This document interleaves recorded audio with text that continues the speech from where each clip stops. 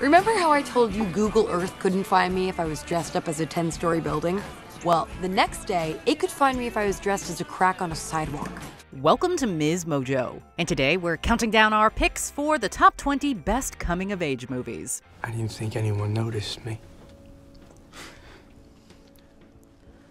Well, we didn't think there was anyone cool left to meet. For this list, we're looking at live action flicks that explore the themes and emotions that come with growing up. That means that animated films like Persepolis won't make the cut. What's your favorite coming of age movie? Let us know in the comments. Number 20, Booksmart. Um, excuse me, ladies. There's a Sorry. a party to get to. This one is an ode to the nerds and the geeks.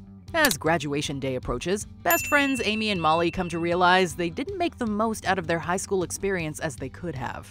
So, they decide to cram it all in on one night. Nobody knows that we are fun. We know. They need to know. Who's they? We are not one dimensional. We are smart and fun. As they journey through several different parties, they wade through physical intimacy, substances, power imbalances in their friendships, and the prospects of their futures. With stellar performances from the cast, a hilarious script, and a truly heartfelt and profound story, this one has become an instant classic. It was great, wasn't it? Things are never going to be the same, but it was perfect. Number 19, The Way, Way Back. Hey, where have you been? Nowhere. It's a long time to be nowhere. Well, that's where I was. Now, this one is a film for the loners. Duncan has a really hard time at home with his mom being totally oblivious to the way her boyfriend verbally mistreats him. But when he starts working at the water park during summer vacation, he finally finds a place where he feels at home. There's a whole world out there for you, Duncan. Don't settle. Not yet. I don't have anywhere else to go. Anyone who's grown up feeling misunderstood by their family can understand the struggle to find people who truly understand you. It's the difference between the family you're given and the family you choose. Ladies and gentlemen, the first person ever passed someone on the water slide!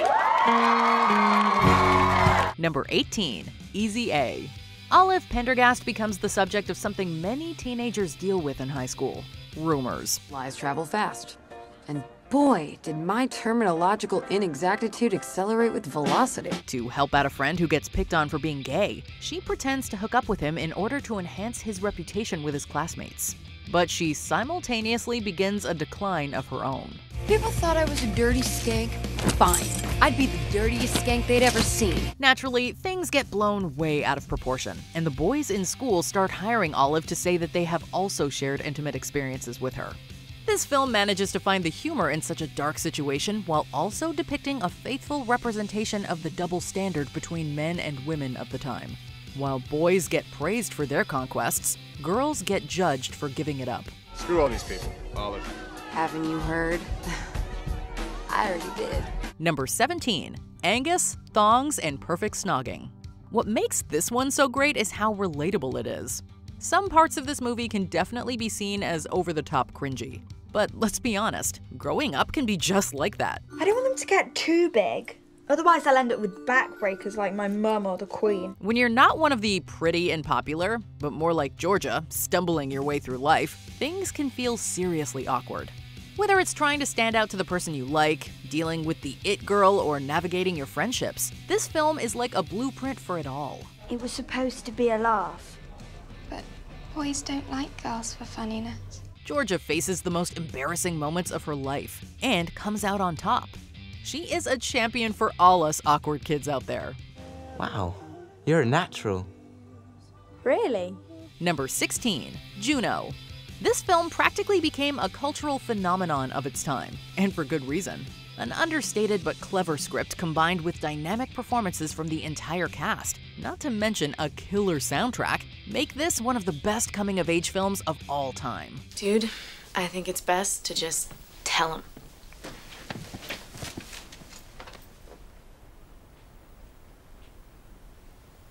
I'm pregnant. Although the subject matter might not be something everyone can relate to, the feelings of uncertainty and vulnerability are universal.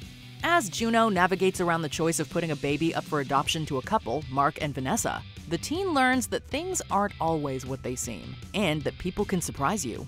The right person's still gonna think the sun shines out your ass. That's the kind of person that's worth sticking with. And the complicated relationship Juno has with Paulie is really sweet. Somehow, through all the unpredictability, they manage to find their way. And I know people are supposed to fall in love before they reproduce, but I guess normalcy isn't really our style. Number 15 Dead Poets Society.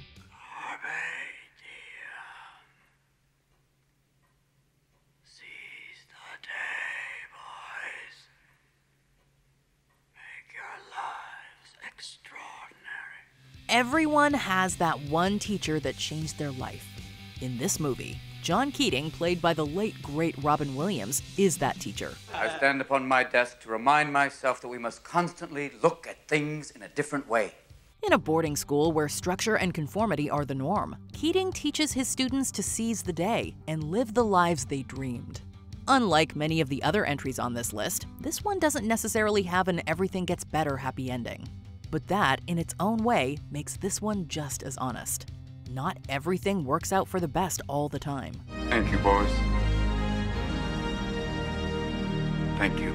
Number 14 Rebel Without a Cause. This one is an oldie but a goodie. That's right. I'm cute, too.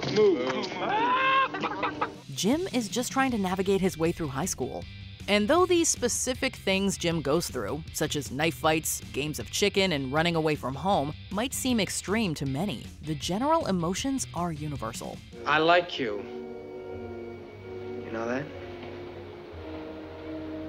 Why do we do this? You gotta do something. Don't you? Everyone has dealt with bullies.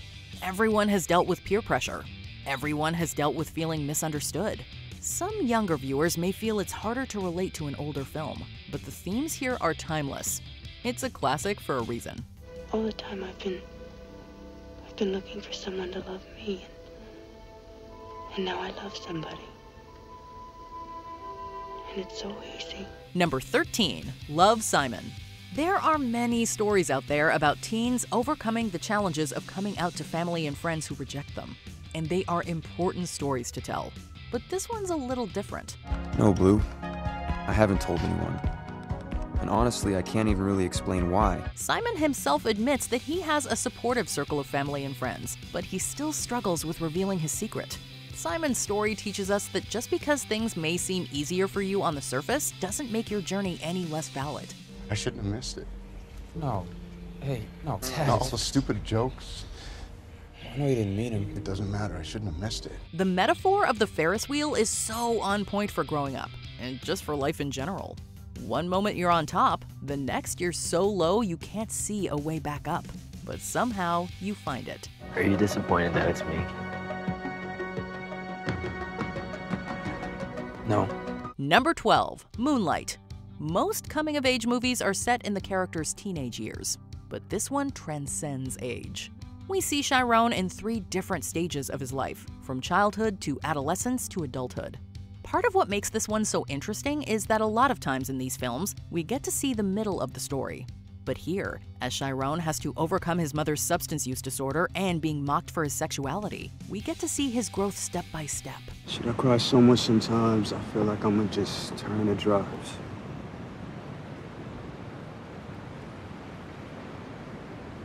You just roll out into the water, right? It's worth noting that while many coming of age flicks deal with widely relatable stories, Moonlight is much more specific, but it still manages to feel empathetic to a wide audience of viewers. It also won Best Picture at one of the most memorable recent Oscar ceremonies of all time. Why's you looking at me like that Number 11, Moonrise Kingdom. This one didn't get Academy Award and Golden Globe nominations for nothing, not to mention a spot on the BBC's Greatest Films of the 21st Century list in 2016. Remember, this isn't just a search party, it's a chance to do some first class scouting. Camp may be an unforgettable experience. That is certainly true for Sam, Suzy, and the khaki scouts of Camp Ivanhoe. What kind of bird are you? I'm a raven. Boys aren't allowed in here. I'll be leaving soon. After meeting, Sam and Suzy want nothing more than to escape their lives and run away together. With all odds against them, they find a place to call their own. And though their story is bittersweet, the theme of young love is timeless. you never forget your first love. I think you've still got lightning in you. Let's jump. Number 10, The Edge of 17. You know what you need? You need someone to rob you so you can reenact Home Alone. That is. That is exactly what I need. Writer director Kelly Fremon Craig has gone on record saying that her directorial debut was heavily inspired by the late John Hughes. And watching the film, it's almost as if you were watching a movie from the man himself. Hailee Steinfeld stars as Nadine, a junior in high school who, after the death of her father at a young age and a slight backstabbing from her lifelong best friend, sees the world as being entirely against her. Bottom line is, I have nothing in common with the people out there, and they have nothing in common with me. With Steinfeld turning in an outstanding performance and snappy dialogue that hits all the marks of teenage conversation, this is one movie everyone should see at least once. Wow. uh, well, I mean, wouldn't go that far. No. It's all right. it was amazing. Number 9. The Perks of Being a Wallflower. Welcome to the island of misfit toys. Based on director Stephen Chbosky's own novel, which could easily top any list of the best coming of age novels of all time, the 2012 film adaptation was named an instant classic upon release. Heavy hitters like Logan Lerman, Emma Watson, and Ezra Miller all turn in performances that speak to the troubles that face teens every day. If you knew the things that uh, that were in my head most of the time, you'd know what it really meant. How, how much we're alike and and how we've been through the same things. While the film does deal with some heavy subject matter, by the end, you'll be wishing you could spend a little more time with these characters. Of course, you'll also have David Bowie's Heroes on repeat as well. And in this moment, I swear, we are infinite. Number 8, Superbad. Why are you talking about a plan? We've never discussed like any plan, but you keep saying we have a plan. I had like a general outline. Evan and Seth have been inseparable since childhood, and as their high school graduation approaches, they're forced to deal with the possibility of being apart for the first time. You're making me feel like I'm a bad guy. Like, what am I? I didn't do anything wrong. I got into a good school. In a hilarious, booze soaked romp written by Seth Rogen and Evan Goldberg, the film perfectly captures the nuances of friendship, relationships, and partying. Lots of partying. Oh, and it is one of the most quotable films of the 2000s. How old are you, McLovin? Old enough. Old enough for what? It's a party. Number 7 Fast Times at Ridgemont High. Wait a minute, there's no birthday party for me here. This classic teen film introduced us to a plethora of now superstars Jennifer Jason Leigh, Sean Penn, Forest Whitaker, and more. Adapted from the 1981 book of the same name, this film follows a group of high school students as they go through the motions of growing up, touching on themes of sexuality, heartbreak, and drugs. Doesn't that stuff cause brain damage? Only if you take it like every day for a month. Hilarious and entertaining through and through, this film is full of the teen comedy tropes we know and love today. And who could ever forget that scene?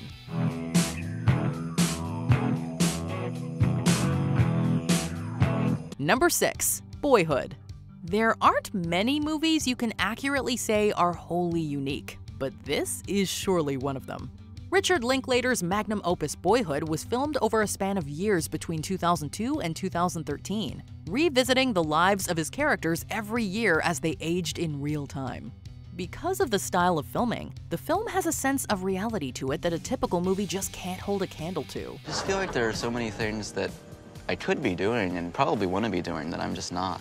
It's a simple story without shocking plot twists or standout events, but rather a tale that feels similar to most people's real life childhoods, filled with small highs and lows. I'm really happy that you're hanging out with us. Yeah. You too. Number 5. Lady Bird.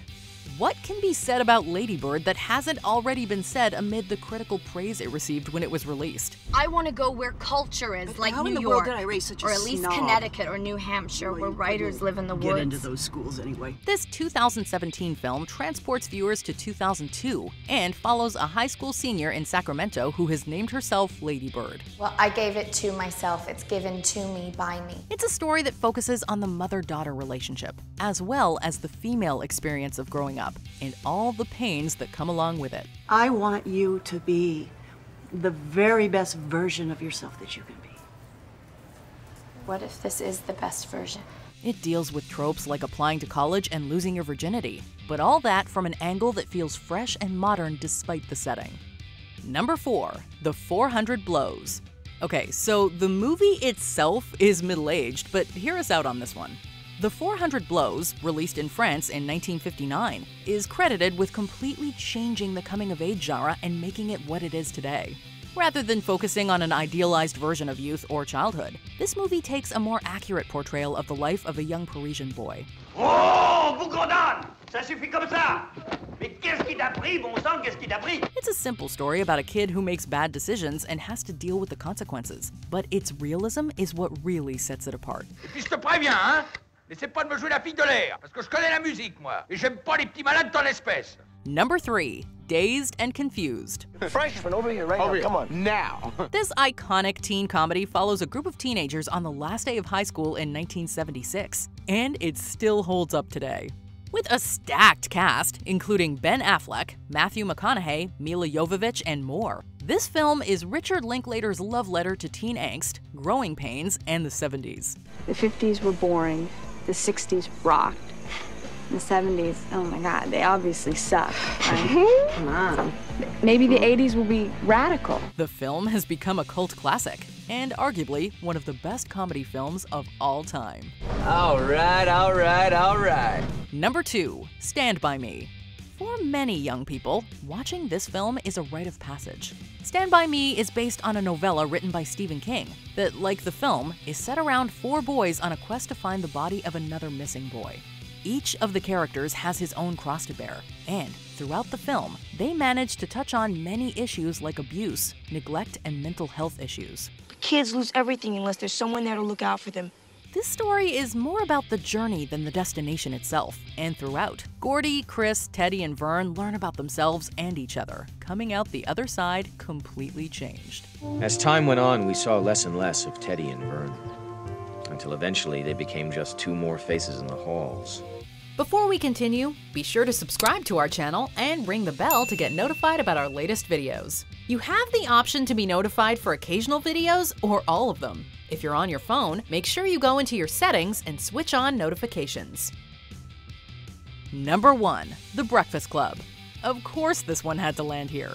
John Hughes was the king of the classic American coming of age movie, having created beloved classics like 16 Candles and Ferris Bueller's Day Off, as well as this much loved film. She's a tease. I'm sure. Why don't you just forget it? The Breakfast Club is an iconic 80s movie that works at breaking down high school stereotypes by bringing together students from different crowds for a Saturday detention together. No! I never did it! They realize that they have much more in common than they could have imagined, and they all leave a little older and a little wiser. Sincerely yours, The Breakfast Club. Don't, don't, don't, Do you agree with our picks? Check out this other recent clip from Ms. Mojo. And be sure to subscribe and ring the bell to be notified about our latest videos.